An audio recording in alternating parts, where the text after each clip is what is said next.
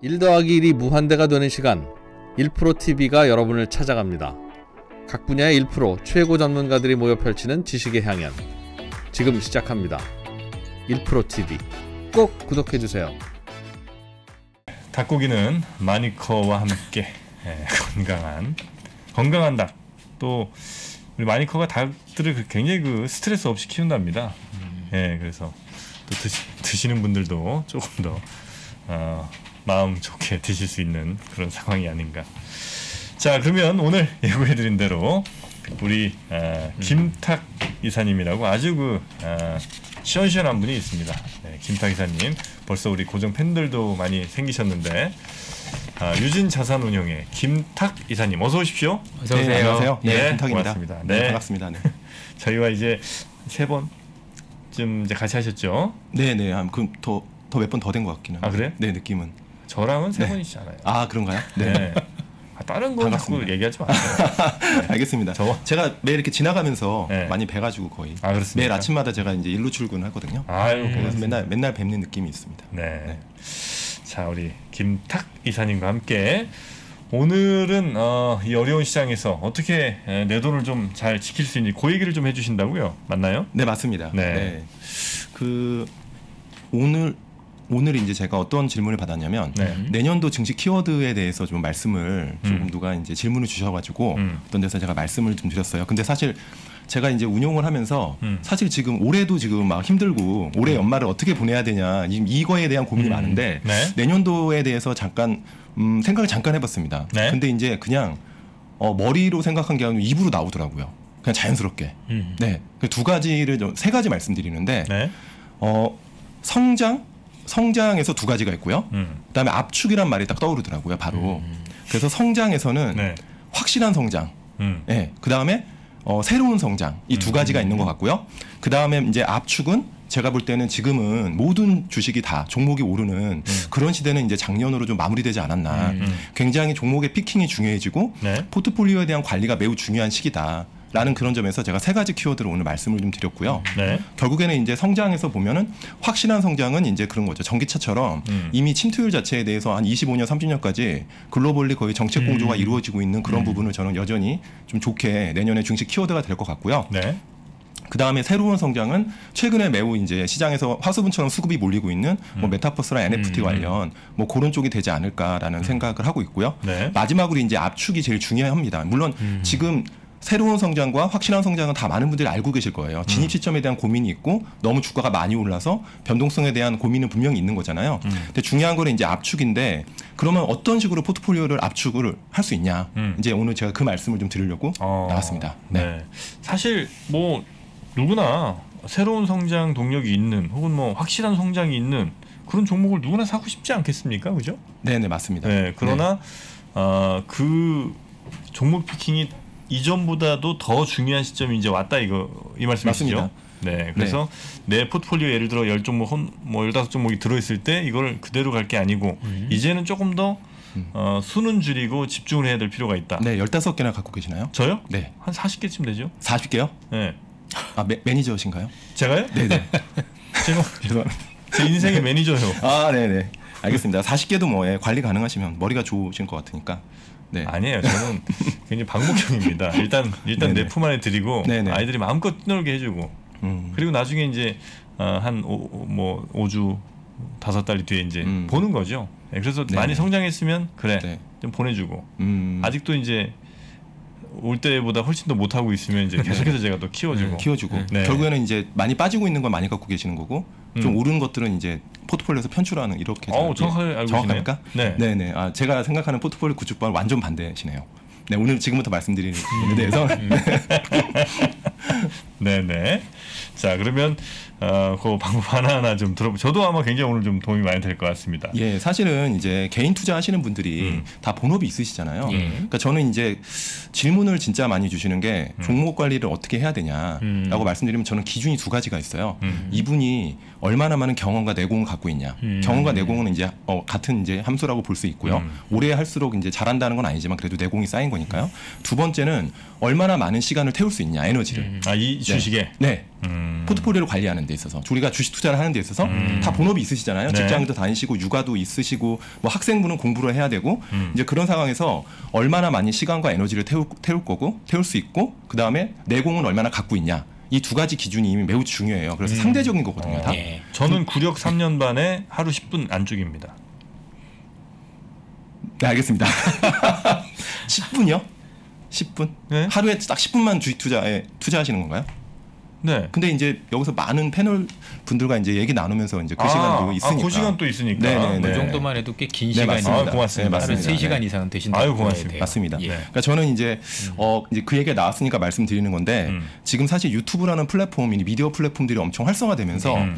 정말 많은 긍정적인 영향도 많이 주고 있잖아요. 음. 대신 반면에 노이즈도 많다고 생각해요. 맞습니다. 우리가 네. 가공되지 않은 데이터나 뉴스가 음. 우리한테 그냥 core 없이 filtering이 없이 다가오면 그게 자체가 노이즈가 될 가능성이 대- 매우 음. 높거든요. 근데 저는 그런 측면에서 3%는 노이즈가 별로 없는 방송이 아닌가 생각을 해요. 거의 없죠. 네네네. 그 게스트에 대한 어떤 네. 굉장히 어떤 picking, 종목 picking이라고 저는 보는데 아. 그런 부분이 좀 탁월하신 부분이 있고 철저하게 검증하죠. 아 그런가요? 네. 아네 그런 것 같습니다. 그래서 아마 이제 전, 이사님만 특별 출연이요. 아, 전 특별 지 관리 종목. 오늘 왜 이러세요, 다들? 네. 아 진짜 근데 노력은 네네. 많이 합니다. 솔직히 뭐 얼마나 저희가 잘하는지는 모르겠습니다만 음. 예, 정말 정말 훌륭한 분들만 모시려는 노력은 많이 하고 있습니다. 그 제가 이제 저도 이제 여의도에 생활을 뭐 선배님도 계시지만 네. 보면 되게 진짜 고민 많이 하시고 음. 노이즈를 가급적 최대한 안 만들기 위해서 노력하시는 그 부분이 저는 되게 정말 인상적이에요. 아. 네네. 유일한 노이즈가 저죠, 뭐 사실. 정 정거 같은데. 네. 그래서 자, 그러세요? 네, 기본적으로 그래서 네. 지금 어, 포트폴리오를 어떻게 구축을 해야 되는지 음. 이제 그 부분을 아까 말씀드렸잖아요. 상대적으로 제가 말씀드린다. 음. 근데 지금부터 말씀드리는 거는 굉장히 일반론적인 음. 얘기를 말씀드리는 겁니다. 네. 각자의 처해 있는 네, 환경이 다 다르지만. 음. 다르지만 가장 어, 제가 생각했을 땐 이런 기준으로 포트폴리오를 짜면 네. 리스크 관리와 동시에 수익을 음. 안정적으로 가져갈 수 있고 네. 동시에 이제 본업도 본업에 크게 문제가 없지 않을까. 아. 네, 우리가 사실 주식 투자하면서 네. 본업이 흔들리면 안 되잖아요. 그럼요, 그럼요. 예, 본업을 잘 하면서 음. 투자는 그냥 재테크의 한 수단으로 가져가야 되는데 네. 그게 뒤바뀌는 순간 음. 굉장히 이제 우리가 힘든 상황이 될 수도 있다라는 맞아요. 점이 있고요. 네. 그럼 대신 그거는 좀 네. 해주세요. 그러니까 일반적인 평균 한번 말씀해 주시고 네. 대신 여기서 조금 더 시간 투자를 많이 하시는 분들은 요 정도 요 정도까지는 가능할 듯. 네, 그 정도 네, 네. 말씀을 좀 해주실 수 네네? 자연스럽게 그게 아마 네. 어, 얘기 녹아 나올 것 같고요. 네. 일단 어, 제가 슬라이드 하나 보면서 말씀을 드리겠습니다. 네. 슬라이드 지금 나오면요. 네. 이거는 제가 운용을 음. 어, 10년 넘게 하면서 네. 그 만든 건데요. 어, 일단은 제일 먼저 4분면에 오른쪽 아래에 있는 네 길거리 캐스팅 후보군들. 네, 요 이제 한번 이것도 좀 길거리 캐스팅. 예예예 예, 예. 네. 지금 우리는 이제부터 이제 방시혁 의장이라는 생각으로 아 우리가 내가 네, 내가 우리. 투자자들이 어. 투자자들이 이제 우리가 한 명의 가수를 잘 키워서 어. 캐스팅을 해서 연습생 과정을 거쳐서 데뷔를 하고 그 다음에 글로벌 스타로 발돋움하는 아 BTS 내가 이제 뽑아야 됩니다. 네, 그런 네. 과정을 우리가 거치는 거죠. 포트폴리오 구축을 네. 그런 과정을 거친다는 생각으로 지금부터 이제 말씀드릴게요. 음. 보면은 이제 수없이 많은 종목들이 있습니다. 네. 예, 이게 전부 다 우리의 후보 종목들이죠. 근데 여기서 중요한 건 관리 종목. 예, 제가 아까 관리 종목이었지만 관리 종목과 애널리스트의 분석 보고서 없는 종목은 제외시킵니다. 그 음. 이유는 정말 관리 종목을 매매를 정말 기똥차게 trading 잘하시는 분이 예외지만 음. 대부분이 관리 종목이 일단 어떤 매매 들어서는 순간 네. 그 굉장히 좀 저는 위험하다라는 생각하고요. 음. 두 번째는 분석 보고서가 없는 종목을 접근을 하면요. 네. 물론 재무제표를 매우 잘 보시고 그다음에 기업에 대한 어떤 이해도가 많고 그런 음. 전업 투자자 하시는 분들이나 그런 분들을 소수를 제외하고는요. 우리가 정보를 얻기가 사실 쉽지는 않아요. 음. 그리고 실제로 우리가 정보를 얻는다고 하더라도 네. 굉장히 피상적인 정보에 불과한 경우가 많습니다. 네, 그래서 가급적이면 그런 종목을 제외하고 모든 종목이 우리의 캐스팅 후보가 되는 거죠. 음. 그런 종목들은 대체로 제 카카오톡이나 이제 귀 속말로 많이 들어옵니다. 귀, 귀, 아 귀 속말로요? 네. 네. 뭐가 있다더라. 네, 네, 예. 네. 있다더라. 돼. 네. 너만 알고 있어 이런 거. 네, 네, 네. 나중에 보면 다 개구라잖아요. 예. 아니 너만 알고 있어 그러는데 이제 다 알고 있는 거죠. 그러니까요. 네, 네, 이제 그런 아무튼- 거는 제외하시고. 네, 네, 그럼요. 그 음. 왜냐하면 다들 우리가 너무 바쁘 바쁘시고 음. 그다음에 일일이 재무제표를 다 보고 뭐 기업을 직접 찾아가고 이럴 수는 없잖아요. 개인 음. 투자하시는 분들이 맞습니다. 그래서 그런 모든 그거를 제외하고 모든 상장 종목 중에서 음. 중요한 건 이제부터입니다. 네. 기본적 스터디를 하고요. 음. 동시에 이제 끼 끼를 갖고 있는지를 보는 거예요. 이 끼는 상승의 potential이 있는지 음. 이두 가지 어떤 교집합으로 음. 연습생으로 만드는 거죠. 오디션 이게 오디션 과정인 건데요. 음. 이 기본적 스타디라는 게 아주 저는 이렇게 봅니다. 어떤 산업에 대한 어떤 개괄적 이해, 음. 그 다음에 동시에 지나치게 많은 오데이터, 가공되지 않은 데이터들을 가지고 그거를 우리가 정보로 우리한테 투자에 필요한 정보로 바꾸는 음흠. 그런 과정들이 기본적 스타디입니다. 네. 그래서 그, 그런 스타디를 한 뒤에 아, 그 중에서 내가 이 종목은 내가 좀 상승력이 있어 보여. 그러니까 최근에 핫한 뭐 전기차나 NFT에 대해서 우리가 많이 얘기를 듣잖아요. 음. 그 다양한 어떤 데이터들을 가지고 우리가 투자에 필요한 정보들을 우리가 잘 발라낸다. 음. 일단은 발라본 뒤에 어 그래도 이 종목들은 내가 한번 접근을 하고 싶다라는 음. 게 연습생으로 들어가는 겁니다. 네. 음. 근데 중요한 거는요. 네. 이 연습생이 너무 많으면 안 돼요. 저는 두 개 정도 봅니다. 두 개 내외. 음. 네. 두개두 정도. 개? 네, 두 개. 네. 아, 두 개. 종목 수는 두 개고요. 네. 비중은 5%입니다. 한 종목당 비중이. 아, 네. 아 제가 보유 종목을 두 개만 하라는 얘기는 아니고. 네, 맞습니다. 이제부터 후보군- 시작입니다. 음, 후보군 네. 너무 많이 하지 말고 두 개의 네. 종목만 네. 봐라. 지금부터 우리는 이제 아무것도 없는 백지 상태인 겁니다. 네. 단한 명의 아이돌 스타도 배출하지 않았고 연생이 없는 음. 상태에서 포트폴리오가 제로인 상태에서 시작하는 거거든요. 좋습니다. 네. 그래서 연습생에 있는 종목이 종목은 두 개, 음. 한 종목당 비중은 5%, 그럼 전체 포트폴리오 차지하는 건 10%.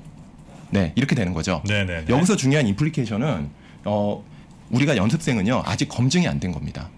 검증이 되지 않았기 때문에 기본적으로 우리가 이 포트폴리오의 비중을 많이 가져가면 안 된다라는 게 중요한 어떤 그 포인트라고 좀 보, 여지고요 네. 그 다음에 연습생에서 이제 심층 분석을 하는 거죠. 심층 분석. 네. 예, 이 심층 분석은 사실 지금 말씀드리기에는 좀 굉장히 좀 디테일한 부분이 있고요. 연습생에서 이미 우리는 산 거죠? 종목을 두 개에 들어가 있는 겁니다. 들어가 있는 거죠? 예, 예. 음. 그래서 심층 분석을 거쳐서 네. 어 이거를 이제 이 종목군을 데뷔를 시키는 겁니다. 대비? 대비. 이미 대비 샀는데. 뭘 대비를 시켜요? 아니죠. 비중을 올리는 겁니다. 아, 음. 비중. 비중 이 개별 종목 비중이 5%였잖아요. 네. 이거를 10% 내외로 올리고요. 음. 종목의 개수도 아까 두 개였잖아요. 네. 이걸 네 개까지로 늘리는 게 대비군입니다. 아. 그래서 전체 포트폴리오에서 40% 정도 차지하는 겁니다. 네, 네. 예를 들면 제가 천만 원을 투자해요. 음. 천만 원을 투자하는데 연습생은 100만 원 100만 원만 있는 거고요. 음. 10%.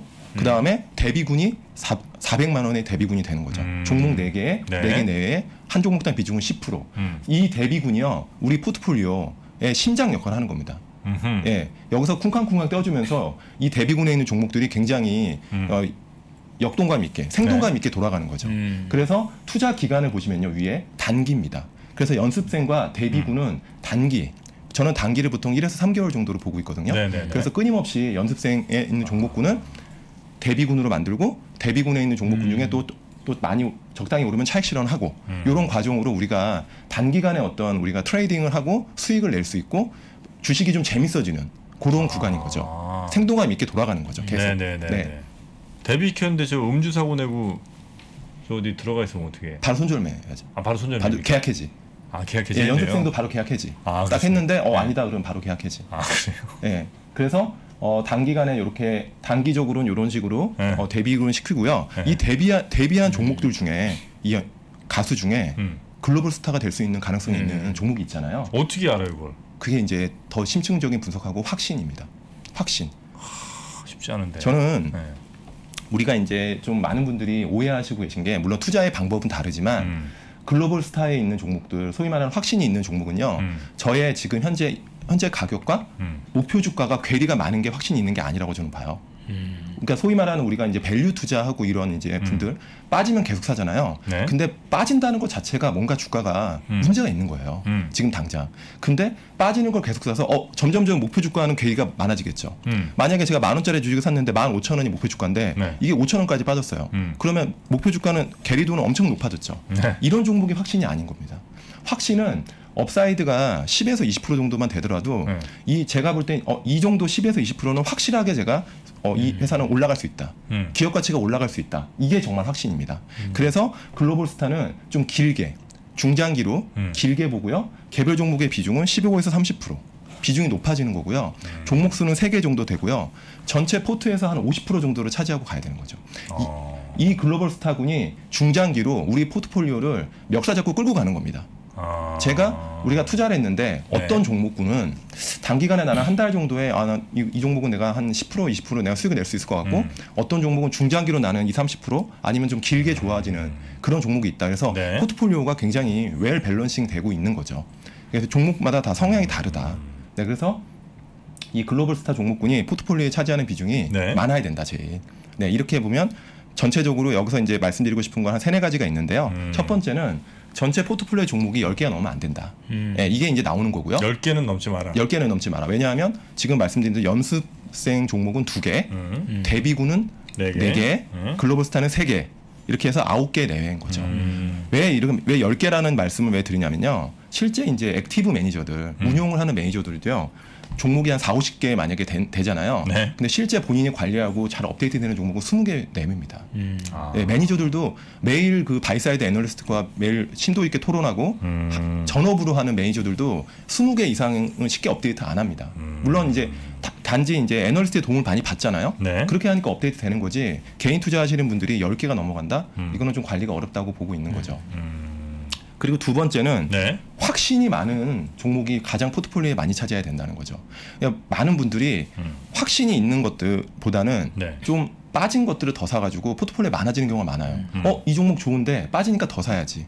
근데 이제 그럴수록 음. 연습생들이 많아질수록 연습생에 가장 컨빅션이 없고 네. 네, 우리가 아직 검증이 덜 된 거잖아요. 예. 심층 분석이. 그 연습생이 막 어떤 분들은 막 종목이 전체 종목이 10개인데 연습생이 8개야. 한두 개밖에 없어. 데비나 글로벌 스타가. 그럼 연습생 8개가 완전 좌충우돌 하는 거죠. 네. 아니 근데 연습생은 사실 우리가 아직 확신은 없잖아요. 네네. 그러면 걔는 살 게 아니라 그냥 관심 종목 정도에 넣어놓고 그냥 보다가 사야 되는 거 아닙니까? 확신 더 들면? 어, 길거리 캐스팅에 있는 거를 그냥 보고 있는 거고요. 네. 우리가 길거리 캐스팅 후보군을 보고 있는 거고 네. 여기서 아까 말씀드렸죠. 제가 그 처음에. 기본적인 스터디와 음. 끼가 있는 것들을 연습생으로 두 개를 올리는 겁니다. 일종의 보초병 같은 거거든요. 음. 우리가 어느 정도 그냥 계속 나래비를 이렇게 세워놓고서 음. 그냥 watching하는 거와 어 그래도 내가 이 산업에 대한 공부와 그다음 이 종목에 대한 어떤 끼를 내가 바- 발견할 수 있잖아요. 음. 그러면 직관적인 부분에 좀 의존할 수도 있고 네. 네, 그러면 이제 이거를 연습생으로 올려가지고 watching하는 거죠. 아. watching하면서 이 종목들은 내가 심층 분석을 하겠다. 네. 네, 매출액과 재무제표를 제대로 한번 분석을 하고 음. 회사에 대해서 깊이 있는 어떤 이해, 음. 이해 를 갖고 valuation까지 한번 valuation 쉽진 않지만 음. 많은 또 이제 애널리스트 분들의 보고서 같은 음. 거를 도움을 받아서 네, 이제 심층 분석을 해서 대비를 시키겠다는 거죠. 그리고 네, 네. 어, 만약에 이제 제가 어, 어떤 뭐 개인이 뭐 모, 모든 분야를 다 잘할 수는 없잖아요. 네, 맞습니다. 대체로 뭐 나는 게임이랑 컨텐츠 쪽에 좀 더 관심이 많거나 뭐 이럴 거 아닙니까? 그럼 대체로 내가 공부하거나 아니면 관심 있는 쪽도 대체로 그런 쪽일 거 아니에요. 네, 네, 그렇죠. 그러면 지금 뭐 한 아홉 개 정도, 열개 정도 되는 종목들이 다 비슷비슷하게 위치할 수 있잖아요. 뭐 게임 한 두어 개 사고, 뭐 미디어 콘텐츠 한 두 개 사고 이렇게 되면 사실은 이게 잘 짜여진 포트폴리오는 좀 아닌 것 같기도 한데. 음, 중요한 거는 예. 좋은 포트폴리오는요. 좋은 포트폴리오 기준이 산업에 대한 잘웰 분산된 게 아닙니다. 적당히 뭐 섹터가 자동차, 건설, 무슨 조선 뭐 이런 식으로 아니면 IT 이렇게 막 분산된 포트폴리오가 저는 좋은 포트폴리오 보지 않고요. 음. 아 그래요? 예, 스스로가 잘 알고 깊이 있는 분석이 가능하고 네. 우리가 굉장히 업데이트가 잘 되고 그런 음. 종목들을 접근하시는 게 오히려 수익률에 도움이 된다. 그러니까 어. 우리가 보면 매니저처럼 우리가 하는 거 시장 BM 수익률을 이길 필요가 없는 거잖아요. 음. 개인 투자자들은 다 절대 수익이잖아요. 네. 근데 잘 모르는 섹터까지 다 들어가서 음. 그런 거를 접근하는 건 저는 그렇게 추천드리지 않는 아, 거죠. 그렇습니까? 굳이 우리가 잘 모르고 공부하기 쉽지 않은 섹터들을 음. 이렇게 질문하신 분이 있더라고요. 그러면 내가 아는 것들을 종목을 짜고 내가 잘 모르는 것들은 ETF 사면 안 되냐? 그 ETF 왜 삽니까? 잘 모르는데. 네, 저는 그런 거죠. 잘 모르니까 잘 아는 사람한테 맡기는 거잖아요. 근데 이제 저는 중요한 게 네. ETF라는 거는 아무튼 그 종목들을 모아놓은 거잖아요. 그렇죠. 그, 그 산업이 안 되면 ETF 자체가 안 되는 거죠. 산업에 네, 대한 네, 네. 이해도가 낮, 낮은데 아. 굳이 그 ETF를 음. 어, 투자할 필요 없는 거죠. 음. ETF는 그 섹터를 자기가 엄청 좋아 보이는데 음. 종목 고르기가 어려울 때 선택하는 네, 거지. 네. 그 산업에 대한 이해도가 낮은데 ETF 투자하는 거는 유 하나 음. 그것도 유효한 방법입니다. 네네네. 알겠습니다. 그래서 보, 음, 일단 우리 후보 저저 저, 연습생 네. 그 다음에 이제 데뷔군 그 다음에 이제 글로벌 스타 네, 맞습니다. 이렇게 나눠서 이제 좀 음, 종목들을 사자. 나눠서 가- 가져가고 네. 중, 단기적인 수익을 추구하는 종목들이 그럼 생기는 거고요. 네. 중장기로 가져가는 종목이 생기면서 음. 포트폴리오의 어떤 그 안정감과 음. 네, 방향성이 저는 명확해진다고 봐요. 네. 그렇습니다. 네. 자 그렇게 해서 이제 대충 비중은 글로벌 스타 한 절반. 네. 그 다음에 데뷔군이 한 3, 40. 그 다음에 어저 데뷔군이 40, 예. 연습생 10%. 연습생 10%. 네. 네. 그 정도 비중으로 음, 네. 이제 간다. 네. 그렇게 가져가면 네. 저는 이제 사실 저 제가 실제 운용할 때 이렇게 하거든요. 음. 네, 이거를 근데 약간 이제 개인 투자자분들한테 좀 막, 맞게 좀 틸팅, 약간 변환을 줘가지고 제가 이제 소개를 해드린 거고요. 네. 기본적으로 저는 확신이 있는 종목의 비중이 언제나 포트폴리오에 가장 많습니다. 음. 네. 음. 그 upside가 많이 나오고 상승 여력이 많은 것들 위주로 포트폴리오 짜게 되면요. 음. 그 상승의 trigger가 언제 나올지 모르기 때문에 결국에는 손절매의 리스크가 굉장히 커져요 생각보다. 음. 네, 음. 물론 투자의 전략의 차이는 있습니다. 가치 투자에서 가치 투자는 목표 주가와 가격의 괴리가 많을수록 이제 투자를 많이 하시는 스타일인데 음. 저는 개인 투자 하시는 분들한테 선- 되게 전문적인 영역 오히려 그게 더 전문적인 영역이라고 보고 있거든요. 음. 보통 그런 투자 하시는 매니저들은요 그 기업에 대해서 굉장히 깊은 이해도와 거의 엄청나게 많은 밀접한 관계를 계속 가지면서 네. 회사를 계속 업데이트를 하- 가능하니까 그게 음. 가능하다. 그리고 그런 투자는 어려운 구간은 굉장히 어렵고 음. 한번 워킹할 때 크게 수익이 나는 오히려 변동성이 작지 않습니다. 음. 시간도 굉장히 오래 걸리죠. 맞습니다. 예. 네. 그래서 가치 투자 펀드 하시는 분들도 보면 지금 굉장히 어려우실 거예요. 음. 네, 네, 실제 맞습니다. 어려웠던 사례들도 많고. 음. 네 네 예. 맞습니다. 확신이라는 거는 공부를 많이 하면서 점점 더 강해지는 거겠죠? 맞습니다. 심층 분석을 한 뒤에 음. 그 안에서 데뷔군에 있는 종목들 중에 어, 이 회사를 계속 제가 업데이트를 하고 계속 공부를 하고 알아보니까 어, 이 회사는 중장기로 이거는 내가 가져가서 어, 나와 함께 갈 수 있다. 음. 예, 뭐 이런 종목들이 이제 글로벌 스타가 될 수 있는 거죠. 어떤 공부죠? 구체적으로 예를 들면 뭐 그 보고서 보는 거 저는 네. 어, 좋은 질문 하셨는데요. 네. 개인 투자자분들이 데뷔군에 있거나 음. 글로벌 스타로 되려면요. 최소한 분기 보고서 정도는 음. 업데이트를 하시는 게 좋고 요즘에는 증권사 보고서 거의 mailing으로 다 오잖아요. 네. 그 다음에 산업 보고서는 최소한 한 달에 음. 한 번은 보자. 음. 분기 보고서는 계속 보고 음. 산업 보고서는 보고 어, 어, 주요한 애널리스트들이 있잖아요. 네. 애널리스트 분들이 보고서를 낼 때마다 그래도 시간 내서 아까 10분이라고 말씀하셨잖아요. 네. 저는 하루에 한 2, 30분만 투자해도 보고서 본인이 갖고 있는 종목이 한 음, 7개밖에 안 맞아요. 되잖아요. 음. 대비군이나 글로벌 스타가 네네네. 그 정도 보고서는 우리가 업데이트 할 수 있습니다. 음. 대신 이제 그게 처음에는 보고서 보는 시간이 오래 걸릴 수 있어요. 음. 근데 보다 보면요, 어 그냥 점점점 빨라집니다.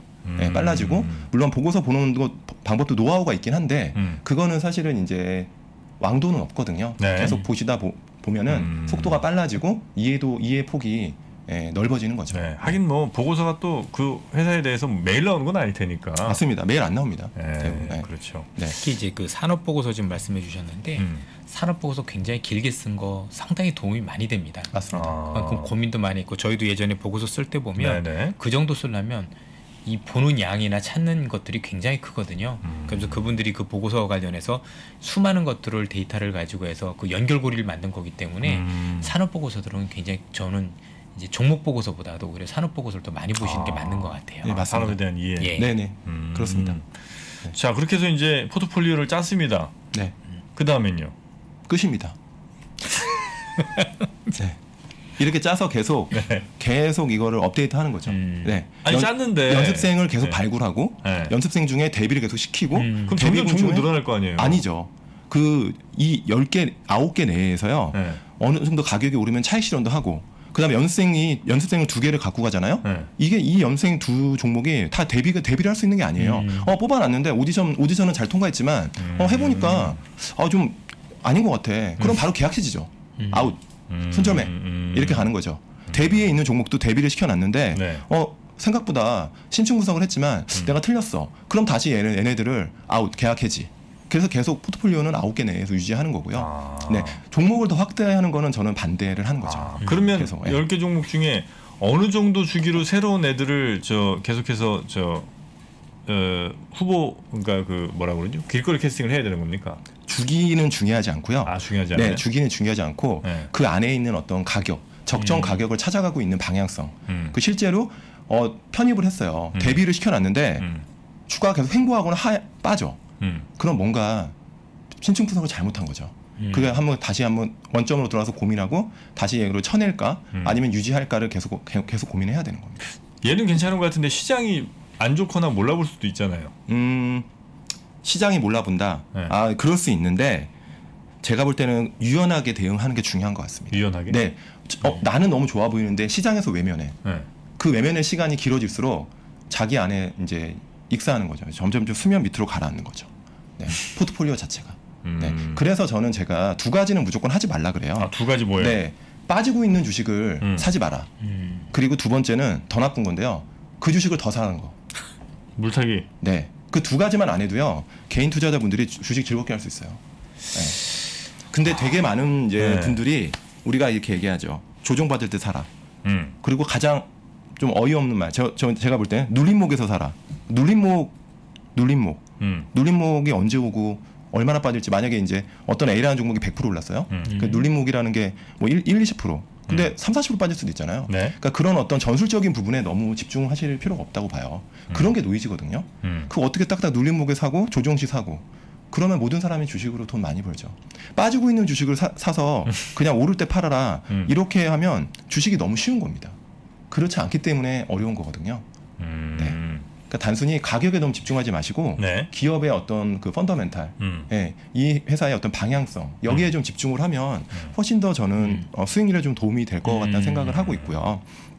그리고 또 하나 제가 첨언드리고 싶은 거는 네. 지나치게 매크로 이슈에 너무 많은 시간을 태우지 않았으면 좋겠어요. 개인 음. 투자자 하시는 분들이 음. 지금 페드가 금리를 올리네 만에 인플레이션이 어쩌고 저쩌고 음. 이런 얘기에 너무 몰두를 하면요 음. 종목 공부하는데 아무래도 시간이 뺏기겠죠. 뺏기고 네. 어, 기회 비용이 발생할 수 있거든요. 음. 그러니까 실제로 보면 우리가 많은 뉴스와 어, 매크로 관련된 여러 가지 이슈들은요. 음. 우리가 좋은 종목을 고르고 수익, 수익률에 도- 어, 장기적으로 수익률을 내는데 솔직히 큰 도움이 안 됩니다. 음. 정말 큰 약세장이 오거나 리먼 같이 음. 뭐 그런 케이스를 제외하고는요. 사실 우리가 종목이나 산업에 집중하는 게 음. 개인 개인 투자하시는 분들한테는 수익률에 훨씬 큰 도움이 돼요. 음. 네. 실제 그 저 말씀이 맞는 게 네. 최근에 뭐 시장이 뭐 왜 미국하고 차별화했느냐 이런 고민하고 있을 때 메타버스 관련주들은 지금 열 배난 기업들도 있어요. 네, 네. 음. 그 관련 기업들이 계속 올랐었거든요. 네, 네. 어떻게 보면 종목에 더 집중을 했다면 더 좋은 결과가 있을 수도 있는데. 네. 사실 뭐 물론 이제 해야 될 부분이긴 하지만 너무 많은데 에너지를 쏟다 보니 실제 해야 되는 건 못 하고 그쪽이 네. 이제 좋은 거 아는데 이제 좋은 거 알고 난 뒤에 너무 이제 가격이 부담스러우니까 못 따라가기 어려운 그런 현상들이 나타나고 있는 네, 저는 네, 맞다라고. 생각합니다. 음. 매크로를 아예 보지 말 보시지 말라는 말씀은 아니고 음. 지나치게 거기에 매몰되면 우리가 정말 정작 중요한 부분에서 음. 기회비용이 발생할 수 있다 이 말씀을 좀 드리고 싶은 음. 거죠. 네. 자 그러면 어, 이렇게 한 10개 안쪽에 10개 정도의 포트폴리오를 짜서 어, 수익이 난 친구들 조금 뭐 팔기도 하고 혹은 이제 새로운 친구들 들어 오면서 아 아닌 친구들 아웃시키고 새로운 친구들 이제 드리고 이렇게 맞습니다. 가는 거죠. 또 어느 정도 가격이 오르면 일부 차익 실현도 하고 음. 뭐 이런 식으로 포트폴리오를 굉장히 좀 선순환을 시켜주고 어? 생동감을 불어넣어주고 음, 어느 정도 기간 동안 들고 있는 게 좋다 이런 것도 기준이 없는 거죠? 네 아까 말씀드렸지만 대비랑 연습생은 저는 단기 1에서 3개월 네. 네. 그 다음에 이제 글로벌 스타는 6, 3개월 이상 최소. 음. 네, 이게 이제 장기로 보고 있어요. 네, 네, 네. 아 그렇게 3개월 동안 네. 그 대비를 시켰는데 네. 성과가 안 나요. 네. 그럼 잘못한 거예요. 제가 정프로님이신가요?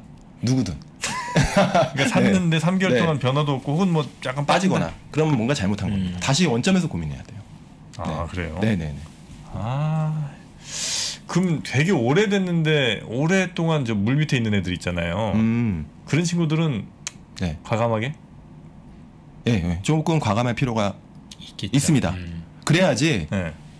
새로운 종목이 또 우리가 포트폴리오에 언젠간 있잖아요. 올라가지 않을까요? 그러다가 언젠간? 한 번은 음, 문제는 1년에 1년에 한 번. 근데 그 1년에 한 기회 번. 비용이 네. 그거를 기다리다가 네. 정말 좋은 기업들을 놓치는 경우들이 많아서 맞습니다. 저도 큰 고집을 부릴 필요는 없는 것 같아요. 제가 예. 이제 예, 맞- 정말 좋은 말씀 해주셨는데요.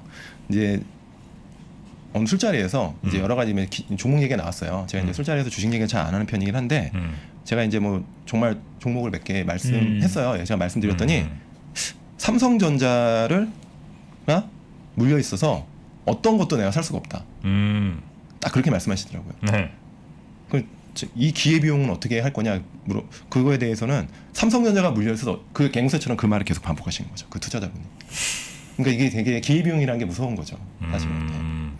근데 이제 그 기회 비용 물론 있죠. 다른 걸 했을 때 훨씬 더 이익을 얻을 수 있는데 그걸 못 하고 있으니까. 네. 근데 이제 그 고민은 이런 겁니다. 다른 데로 가려고 팔았을 때 올라갔을 때 내 심적인 무너짐. 음. 그거 어떻게 할 거냐라는 거 하나랑 그다음에 음. 딴 데로 옮겼는데 걔도 안 오르고 걔도 좀 밑으로 빠졌을 때 그 더블 자괴감. 아, 네, 네. 네. 그러니까 심지어 내가 팔았는데 삼성은 오르고 새로 산 애는 막 또 떨어져. 그래서 제가 권해드린 방법은 음. 분할 분할 분할을 좀 권해드려요. 음. 원샷으로 음. 모든 걸 다 하지 마시고 만약에 정프로님 갖고 계신 종목이 지금 수면 밑에서 네. 오랫동안 지금 잠수를 타고 있다. 너무 오래. 너무 오래? 아직 익사는 안 했죠 그 종목이. 익사 네. 1년 괜찮나요? 반 정도 됐 1년 반이요? 예. 1년 반이요? 아, 네, 알겠습니다. 그, 아니 좀 아, 1년 반- 톤- 톤을 좀 조심해 아, 주시겠어요? 네, 죄송합니다. 초장기 초, 초장기 투자자시네요. 아무튼 비자발적 장기 투자. 네, 네, 네. 예, 아, 예, 예. 예. 수동적 장기 투자자분. 예. 네. 아무튼 그러면 그 종목에 반등을 하, 하든 안 하든 네. 한30% 정도는 저는 무조건 커팅하라고 말씀드려요. 최근에 약간 반등 할 할라당 말라당 하던 어, 그때 것 같아요. 30% 팔아야죠. 머리 좀 들 때. 머리 쓸 때? 예, 예. 내가 그럼 걔 가, 걔가 머리 들 때 내가 걔 가격을 떨어뜨리는 얘기예요? 그 정도 대규모. 음, 아니죠. 아, 네. 아, 네. 저는 30% 정도 숫자를 말씀드려요. 그러, 그 정도 하면 좀 말랑말랑해지거든요. 음. 네. 포트폴리오가. 저는 포트폴리오가 되게 스티커 딱딱해지면요. 음. 주식도 재미도 없고 승리에 도움이 되지 않는다고 봐요. 조금 말랑말랑하게 음. 지금 뭐 100을 다 커팅하면 음. 실제 진짜 반등하면 마음이 너무 아프잖아요. 아, 너무 아프죠. 그러니까 30% 정도는 커팅하고 이 30% 가지고 어. 다른 거에 한번 투자해 보시고 그, 그럼 이러면 되잖아요. 그게 오르면 70%로 먹으면 되고 음. 어 그게 다시 빠졌어. 그러면 아, 나 30%도 잘 팔았네. 둘 다 좋은 거죠. 아 올랐는데 30을 못 먹은 게 너무 아쉽진 않겠죠? 전혀 그렇지 않을 겁니다. 네. 다른 30으로 또 더 좋은 종목들이 나올 수 있으니까요. 아, 발굴- 그래요? 네, 그럼요. 뭐 사면 되는데? 지금요?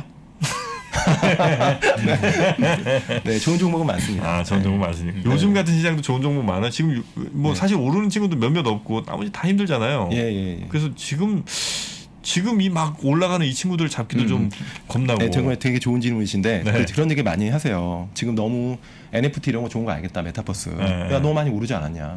저는 이렇게 말씀드립니다. 과감하게 연습생 연습생을 만들자. 연습생을 만들어 보는 거야. 이게 좀 트렌드가 나오는 거를. 음. 연습생을 만들어 한 5% 포트폴리오에 5%짜리 한 두세 개 사놓, 사놓는 거예요. 막 올라가는 애들. 네, 올라가는 애들 그냥 연습생을 만들어 놔. 대신 음. 아, 기본적인 어떤 스타디 있잖아요. 아주 산업에 대한 아주 개괄적인 어, 포괄적인 이해도 필요 없어. 개괄적인 우리가 NFT는 뭐 하는지는 이제 3프로에서도 많이 소개를 해서 음. 알고 메타버스에 대해서도 지금 우리가 어느 정도 이해는 다 있다고 봐요. 투자하시는 음, 음. 분들이 그러면 가격을 너무 보지 말고요. 그냥 지금 올- 어떤 그런 흐름에 음. 일부 연, 연습생을 보초병처럼 한번 포트폴리오 편입을 시켜 놓는 겁니다. 음. 음. 편입 시켜 놓고 어 그때 이제 한번 심층적으로 한번 관심 갖고 조금 더 분석을 해보고 했는데 진짜 이건 핸드도 아니야 음. 말도 안 돼 NFT 그냥 말이 되는 소리 누가 디지털에 돈을 주고 사? 아 그러면 그냥 안 하시면 되는 거고요. 5% 그냥 빨리 음. 팔고 끝. 네네 그렇죠. 네. 계약 해지하면 되는 거고 네. 어, 했는데 아 이건 좀 와닿네. 그리고 난 또 연습생 중에 얘는 좀 비중 올리고 싶어 대비시킬래. 음. 그런 종목이 생길 수 있는 거죠. 네. 이 말의 함축 제가 드리고 싶은 이 말의 엄청난 함축은요. 새로운 어떤 테크놀로지가 있잖아요. 음. 지금 열리고 있잖아요. 음. 그거를 그냥 무조건 안 돼라고 하는 건 주식 투자할 때 제일 안 좋은 거예요. 일단 해보고서 음. 뭐라도 공부를 해보고 관심을 갖고서도 아니면 안 네. 하셔도 되는 거고요. 일단 무조건적으로 안 돼. 이거는 음. 절대 하시면 안 되는 겁니다. 투자하시는 분들이. 그래서 제가 최근에. 네. 게임주 좀 들어갔습니다. 어 축하드립니다. 고맙습니다. 표정이 좀 밝아지셨어요. 네. 야, 근데 게임주가 참 많이 오르지 않았습니까? 많이 올랐죠. 정말 많이 올랐죠. 어, 수많은 게임주들 가운데 네. 제가 딱 어제 피킹한 친구가 음. 상가 쳤나요 오늘? 아니 정말 다 막 10몇 프로씩 오를 때 어제 마이너스 나고 음. 오늘은 한 1점 몇 프로인가 오른 것 같아요. 어, 제 저, 저의 포트폴리오는 없는 종목 같은데요. 어제 마이너스 나고 오늘 1%는 종목 없었는데. 네. 엠마블이라고 막 써주시는데요, 되게. 뭐야? 아 예 맞습니다. 예. 그 친구가 야 근데 어제 깜짝 놀랐어요 진짜 음. 게임주들이 다 오르는 거예요 막. 음, 음. 야 그래 나도 어쨌든 이 새로운 NTF, NFT 뭐 메타버스 좋아 한번 나도 음. 이 세계 이 자산이 이렇게 운동 이동한다면 나도 한번 그 자산의 흐름을 타보겠어. 라는 마음으로 들어간 겁니다. 아, 네, 네.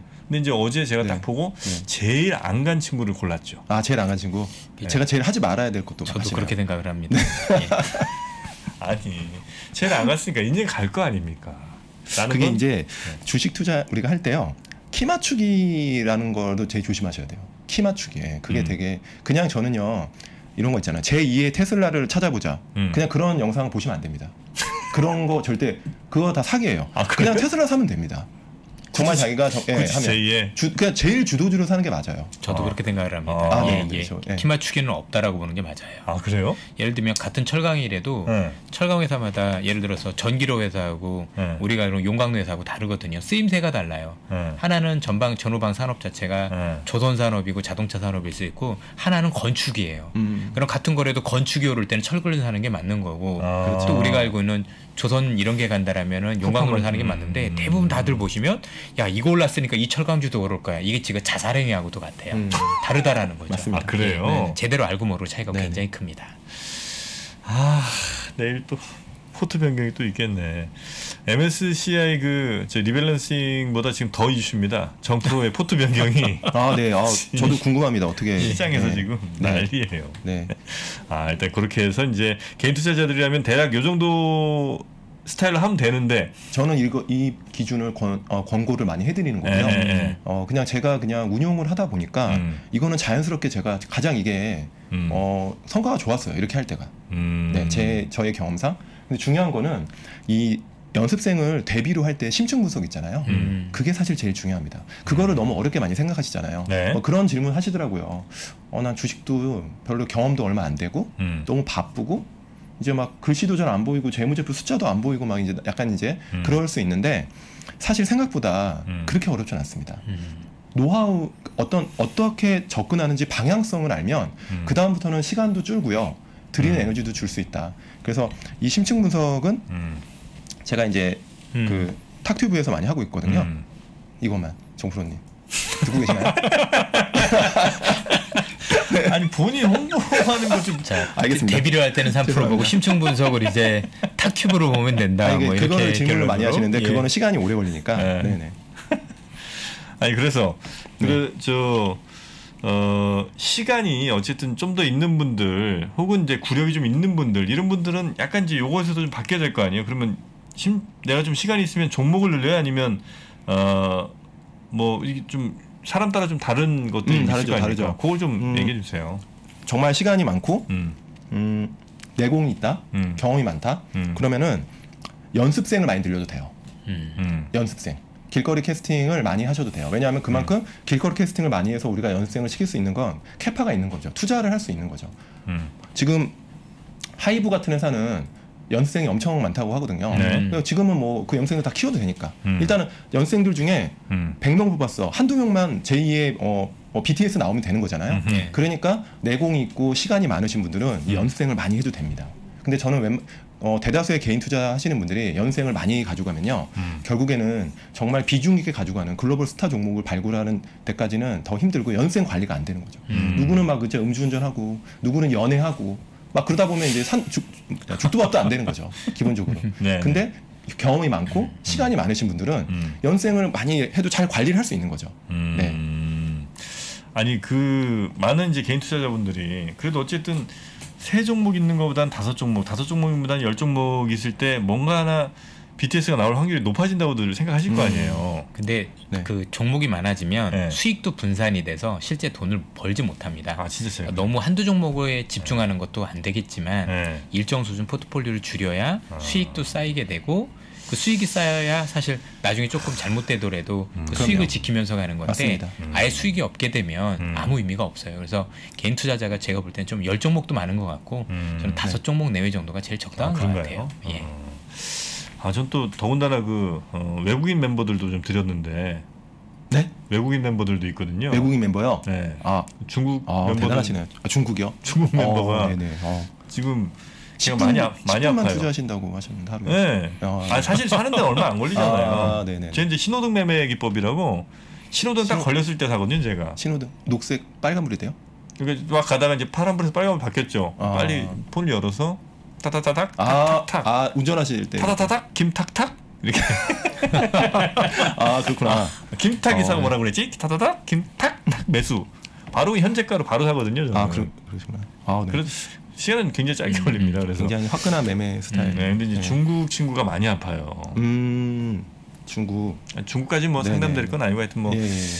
그렇게 해외까지 네네. 해외까지 가는 건 아직은 개인 투자자로서는 조금 아니요 나쁘지 않다고 나쁘지 봐요. 않습니까? 네 단지 잘 이해를 하고 음. 산업을 잘 이해할 수 있고 음. 계속 우리가 봤을 때 저는 좀 접근이 쉬운 음. 다 각자의 어떤 스타일이 다르잖아요. 음흠. 어떤 알고 있는 어떤 지식의 정, 정보와 네. 분야가 다르기 때문에 저는 제일 좋은 방법은 음. 자 스스로가 잘하는 분야에 투자하시는 게 음. 가장 좀, 좀 효율적이지 않나 이런 생각을 좀 하고 있긴 합니다. 아 그렇습니까? 네네. 네.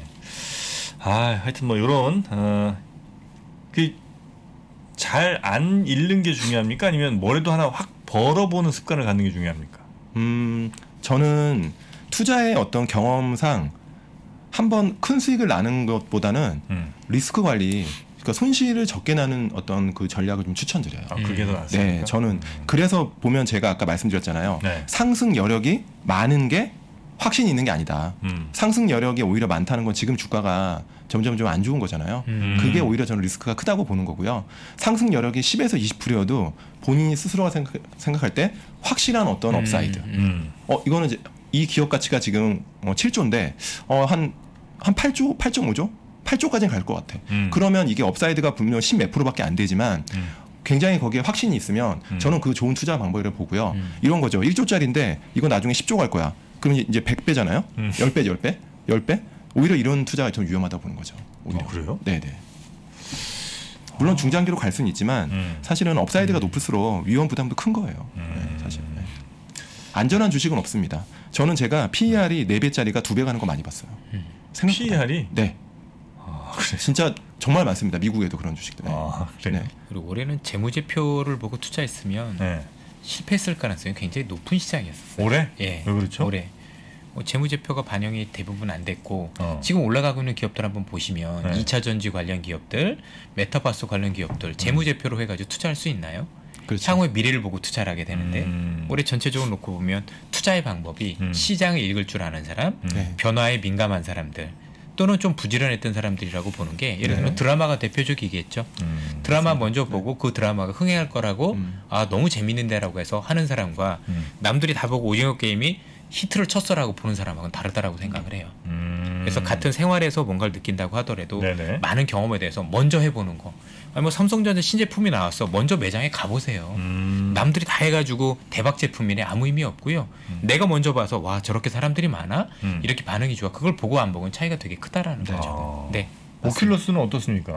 오큘러스는 저는 한번 사볼 만하다고 생각을 해요. 아, 그래요? 반드시 사보시면 메타버스에 대해서 다른 생각을 하실 수 있을 거라고 해요. 뭐 아, 메디플레이 원 보라고 하는데 네. 그거 보는 것만큼이나 저는 오큘러스를 오큘러스. 해보는 게 되게 중요해요. 네네. 실제 근데 주변에서 레디 플레이어 원 보라고 하는데 얼마나 많은 분들이 봤는지 저는 굉장히 궁금해. 안 보신 분들이 더 많을 거요. 음. 그리고 메타버스 하신다고 하시잖아요. 음. 네네. 예. 맞습니다. 네네네.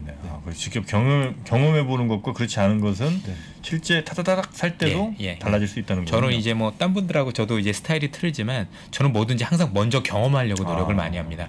뭐 나오면 자동차 먼저 나오면 제일 먼저 그날 매장에 가요. 네네. 음. 가서 이제 매니저한테 보고 제가 먼저 느껴보고 네네. 예쁜지 안 예쁜지 뭐 해- 해보고 우리 김타 기사님은 오늘 말씀 주실 건 다 주신 거예요? 네 맞습니다. 네. 아니 이렇게 짧게 끝날 것 같으면 미리 얘기를 주시면 저희가 아, 그래요? 15분만 배정해 놓으면 되는데. 아, 아, 아, 저는 그동안 항상 제가 너무 많은 걸 가져와가지고 그동안 그걸 못 하고 간 게 너무 많아서 오늘은 진짜 컴팩트하게 좀 아, 짧게 그렇습니까? 짧은 걸 갖고 왔는데 일부러 항상 알겠습니다. 시간에 쫓겨가지고. 네, 알겠습니다. 자, 그러면 어, 우리 김타 기사님은 요렇게 아까 말씀 아까 그 그림 한 번만 다시 한번 보여 주십시오. 네. 그 어, 연습생 그리고 이제 어, 데뷔를 시키고 그리고 이제 글로벌 스타로 만드는 그 네. 느낌으로 네. 네, 그렇게 이제 포트폴리오를 좀 구성을 해보자 이런 네, 말씀이신 네, 거죠? 맞습니다. 네. 네. 특히 이제 내년 시장 자체가 음. 시장보다는 종목이 지금보다도 더 중요한 시장이라고 음. 말씀을 주셨었고 네. 그런 가운데서 내가 종목이 관리 가능한 또 에너지를 쏟을 수 있는 만큼 할 수 있는 종목을 음. 네. 압축해서 할 수 있는 부분이 뭐냐에 대한 고민을 주셨기 때문에 음. 저걸 보시고 또 매매 뭐 방법과 관련해서 결국은 네. 공부를 열심히 하라는 얘기고요. 음. 그 공부 열심히 할 때 이제 종목군부터 피킹을 해서. 그죠? 초취 공부부터 이제 심도 있는 공부까지 해서 확신이 들 때 그 포트를 늘려가면 음. 굉장히 실패율이 적을 것이다. 맞습니다. 결국 네네. 더 많이 오를 그런 것보다는 잃지 않는 투자를 위해서 맞습니다. 이렇게 하면 수익이 쌓인다라고 말씀 주신 것 네. 같습니다. 수익을 쌓고 예. 포트폴리오가 선순환이 맞습니다. 되는 거죠. 음. 선순환이라는 걸 저는 매우 중요하게 생각하거든요. 선순환. 네. 너무 우리가 좀 기본적으로 빠지고 있는 것들을 많이 포트폴리오에 채워놓으면요 음. 순환 자체가 안 되거든요. 음. 그러다 보면 이제 포트폴리오가 좀 딱딱해지고 우리의 어떤 사고 방 음, 음. 사고도 좀 편- 좁아질 수 있어요. 음. 네, 아무래도 우리가 포지션을 갖고 있으면요 기본적으로 약간 그 편향이 생깁니다. 음. 네. 이 종목은 되게 좋아 보이고 어 그냥 잘 될 거야 막연한 어떤 기대감. 근데 그런 부분이 우리 수익률을 갉아먹을 수 있다는 거죠. 음. 음. 알겠습니다. 아, 혹시 요즘 좀 좋게 보고 계시는 그 업종이 좀 있어요? 우리 김탁 이사님? 아, 업종이요? 네. 물론 아, 이제 그 안에서 이제 네네. 기업은 다시 picking을 해야 되겠습니다만, 네네. 아, 이쪽 분야는 확실히 좀 지금 분위기 바람 탄 것 같다. 음, 저는 지금 그 디지털 콘텐츠 있잖아요. 음. 그 중에서도 이제 그 NFT 관련 음. 의 어떤 그런 종목군들은 아직도 upside가 지금 당장 많이 올라서 주가가 좀 불편. 저도 이제 사실은 valuation에 대한 고민이 많이 되고 음. 지금 막 추천드리기는 좀 그런데 그 안에 있는 종목들 중에 굉장히 길게 굉장히 새로운 수익원들이 나오는 종목들이 좀 일부 보이고 있습니다. 그래서 음. 그런 종목들, 그런 섹터들은 계속 좀 관심 있게 좀 보시면 좋지 않을까. 매출이 나오는 데가 있나요, 거기가? 매출이 이제부터 나오는 거죠. 지금 당장은 아니어도. 그거 어떻게 알아요, 우리는? 회사의 어떤 그 방향성 있잖아요. 비전. 음. 그다음에 어떤 사업의 어떤 우리가 비즈니스 모델. 네. 그 비즈니스 모델이 어, 합리적인 수준이냐 음. 아니면 정말 말도 안 되는 소리 하냐 이걸 먼저 구분해야 되는 거죠. 아. 지금 오늘도 뭐 특정 게임 회사가 이제 저 대표님이 인터뷰하는 거 봤는데 네. BM 자체가 음. 지금 당장은 돈을 크게 벌진 않지만 비즈니스 모델 이 비즈니스 모델이 충분히 합리적인 모델을 얘기하는 거예요. 음. 플랫폼으로 가는 그런 부분에서 어, 충분히 이거는 2년 3년 후에 음. 지금 당장 얼마나 숫자가 나오는지는 우리가 아직 감은 없지만 음. 이 방향성이 명확하다 그러면 음. 일단 회사의 얘기를 한번 믿어보는 거죠. 네. 그리고 계속 그걸 업데이트하고 합리적 의심을 하고 음. 그러면서 계속 가는 겁니다. 무조건 아, 지금 당장 숫자가 안 나오니까 안 볼래 라는 것도 위험한 음. 숫자 기회비용이 많이 발생한다는 거죠. 예. 음. 저는 네. 그렇기 때문에 네. 일단은 회사의 말을 그대로 100% 믿으면 안 됩니다. 음. 그럴 필요는 없지만 이제 회사가 이런 식으로 비즈니스 모델을 내가 한번 해볼게 라고 했을 때 음. 이게 정말 합리적으로 볼 때 합리적 의심을 해야 돼요. 음. 근데 했는데 어 굉장히 이거는 몇 년 후에 중장기적으로는 가시성이 있다. 음. 그러면 사실 지금의 어떤 당장의 숫자랑 지금 갖고 있는 어떤 그 실체보다는 네. 우리가 좀 더 미래의 성장성을 음. 조금 더 높이 평가할 수 있지 않게 됐나 할 수 있다고 저는 보거든요. 네. 음. 그런 회사가 이제 보인다. 이거 어, 좀 보이고 있고요. 아, 주가가 좀 오르고 있지만 네. 계속 그런 부분을 저도 업데이트 계속 하고 음. 있습니다. 그러니까 기존에 하고 있는 어, 어떤 비즈니스에 네. 계속 추, 추가로 알파 새로운 기술들이 들어가면서 음. 새로운 수익 창출이 된다고 하, 한다고 하면 음. 이런 회사들은 두 개가 좋은 거죠. 미래 이익이 좋아지고 두 번째는 이제 멀티플까지 올라갈 수 있는 음. 그런 이제 두 가지 조합을 다 같이 갖고 가는 음. 그런 섹터나 종목군들이 좀 이- 한국 시장에 좀 있는 것 같습니다. 네, 네, 네, 네. 지금 이 시장이 1999년에 봤던 닷컴 버블 때하고 시장의 성격이 비슷해요.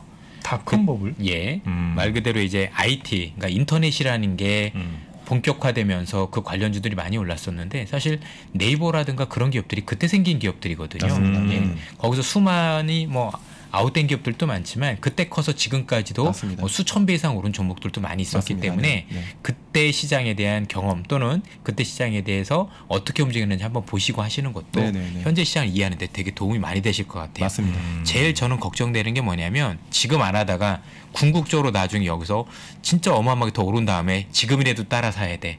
라고 하는 그 매매 형태가 제일 위험하지 않을까. 그래서 음. 지금이라도 많은 공부를 더 해보시고 그 확신을 갖는 것 저는 네, 굉장히 네, 중요하다고 네, 맞습니다. 생각합니다. 네. 음. 2005년도에 네이버가 1조였던 것 같아요. 그러니까요. 예. 네, 제 기억에. 2005년도에 네네. 지금이 한 60, 60조. 60조가 넘어갔으니까요. 그러니까 시총 그러니까 회사의 시총이 60배가 늘어난 거죠. 그게 이제 60배가 더 늘어난 게 회사가 또 아, 좀 어, 중간에 나뉘었으니까. 네, 네, 네. 기업 이벤트도 좀 있었고 예, 그랬습니다. 네. 알겠습니다. 자, 그러면 그런 역시 제일 중요한 건 이제 공부 끊임없는 공부와 함께 네, 예, 확신을 공부, 갖고 공부 이제 정프로님 말씀대로 공부가 중요한데 네. 공부를 어떻게 하냐가 더 중요해요, 사실. 음. 처음 할 때 그냥 무턱대고 공부하라 그러면 공부가 쉽진 않거든요. 그 기회를 빨리 좀 해주시지 그랬어요? 그거는 제가 이제 아까 말씀드렸잖아요. 탁튜브? 네. 여기서 다음에 갖고 올까요? 아니 그 종목 짧- approach에 대해서. 아니 그 짧게 그래도 뭐한 소개를 해주셔야 우리도 맛보고 가지. 아, 네. 아, 그 저는 아까 이제 말씀드린 것처럼 네. 산업 보고서를 기본적으로 산업 한 달에 보고서. 한 번은 읽자. 네. 한 달에 full page는 최소 한 달에 한 번에서 두 번. 음. 그 다음에 기업의 보고서들을 이제 나오잖아요. 음. 최소한 분기 보고서는 좀 업데이트를 하자. 음. 그 다음에 인덱스 보고서가 또 있어요. 음. 인덱스 보고서는 한번 읽어보자. 그 다음에 여기서부터 이제 할 거는 그 다음에 재무제표를 보자. 대신 재무제표를 너무 어렵게 모든 뭐 재무상태표 무슨 뭐 현금 흐름표 음. 이런 까지 다 볼 필요는 없다. 네. 대신 income statement 정도는 우리가 한번 보는 방법을 길러보자. 음. 대신 최소 10년 정도의 income statement를 알고 있자. 음. 그래야 대비 종목이 되는 겁니다. 맞습니다. 이 회사가 지난 1, 2년만 보면 안 되고요. 어. 지난 10년 동안 어떠한 매출의 흐름이 어떻게 나왔고 음. 어떤 이 매출의 구성이 이제 breakdown이라고 제가 표현하는데 네. 그 매출의 구성이 어떤 식으로 돼 있고 성장이 어떤 매출 구성에서 나오고 있는지 음, 음. 그다음에 마진이 어떤 OP 마진의 어떤 구성이 음. 어떤 식으로 변화하고 있는지 이 매출이 늘어나니까 이 회사의 마진이 레버리지가 나는지 음. 이 정도는 좀 업데이트를 해야 된다는 거죠. 아. 그 다음에 이제 여기까지 나온 다음에 네. 앞으로는 이제 그런 거죠. 주식은 미래의 어떤 그 성장을 땡기는 거잖아요. 음. 그러면 이제 앞으로 2년, 3년, 최, 아, 최소 2년, 3년, 5년 후에 이 회사의 매출과 이익, 그다음 비즈니스 모델이 어떻게 되는지에 대해서 본인이 상상력을 발휘해야 돼요. 음, 음. 주식 투자는 상상력을 발휘할수록 수익률이 좋습니다. 발휘했는데 어 이걸 가지고 이제 아 그럼 지금 현재 주가가 만약에 시가총액이 10조예요. 네. 그럼 지금 10조를 한번 그때 나는 이익들을 해서 valuation을 해보니까 음. 어한 15조는 갈 것 같아. 음. 이제 본인만의 어떤 그것까지 가는 거죠. 이게 심층 분석의 간단히 음, 말씀드립니다. 음. 네. 아, 그럼 물론 이제 더 자세한 내용은 또 타타닥 탁탁 탁튜브에 들어가시면 네, 제가 이제 어떤 식으로 접근하는지에 대해서 계속 고민. 아, 제 탁튜브에게 한 번밖에 안 했는데. 네. 네. 탁튜브 굉장히 재밌죠 거기. 아예 들어와 보시나요 가끔? 아, 아 바쁘신 것 같은데 한번 가끔 들어오십시오 라이브. 네. 그리고 사실 그 잘 아는 분야 하라고 하는 것 중에서 네, 네. 최근에 이제 메타버스 관련해서도 물론 이제 일반화시킬 수는 없지만 음. 남성분들은 조금 게임에 강할 가능성이 높고 음. 여성분들은 아무래도 조금 콘텐츠에 강할 가능성이 굉장히 전 높다라고 판단해요. 네, 네, 네. 저희 애들도 보면 게임밖에 안 하는데 네. 여성분들이 별로 게임하는 분은 별로 본 적이 없는 것 같아서 네네. 그게 재밌는 줄 알고 왜 돈이 되는지 아는 거잖아요. 네, 네. 드라마도 또 남성보다 여성분이 아. 더 많이 볼 거고 음, 음. 뭐 솔직히 전 하이브 그, 그 하이브 관련해서 그 BTS 전 남자 기준 별로 안 좋아요. 전 블랙핑크 좋아하지 그쪽 별로 안 음, 좋아하는데 네네. 그럼 여성 팬이 훨씬 더 많기 때문에 예. 훨씬 더 많이 와닿으실 거라고 생각을 네네, 해서 네. 그와 관련해서 보면 조금 더 전 집중력 있게 볼 수 있지 않을까 네, 싶습니다. 네, 네. 예. 맞습니다. 네. 음. 아그 또 블랙핑크를 좋아하시는군요. 그렇죠. 제니가 제 팬입니다. 아, 제니입니까? 그럼요. 네. 아, 네. 인간 예, 샤넬. 예. 네. 네. BTS 전 잘 모르겠습니다. BTS 예. 이제 랩몬스터 예. RM이 있습니다. 네. 우리 탁튜브 어, 또 우리 시청자분들도 한 번씩 들러서 네, 구경해 주시고요. 아 우리 김탁 이사님, 음, 참 재밌습니다. 우리 김탁 이사님. 아, 너무 오늘 시원했습니다. 네. 아 감사합니다. 네. 저도 즐거웠습니다. 예. 신경 쓰시고. 네, 네. 포트폴리오 내일 한번 잘 한번. 아, 포트폴리오. 네, 네. 저희 어. 이거 구축법 이거 나쁘지 않습니다. 음. 한번 아, 해보시면. 그럴까요? 네, 네. 빨리 있는 애들 좀 정리하는 게 쉽지는 않은 일인 것 같은데 여튼 한번 잘 해보겠습니다. 네, 네. 네. 응원합니다. 네, 오늘 함께 해 주신 유진 자산 운용의 김탁 이사님 대단히 고맙습니다. 네, 감사합니다. 감사합니다. 네.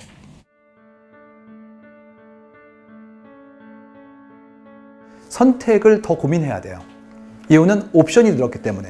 그래서 선택에 대한 부분들을 하기 위해서는 뭐가 필요하냐면 그만큼의 지식이 요구됩니다. 즉 디코딩을 위한 난리지가 요구돼요. TMI죠. 계속 정보가 오고 있는 거예요.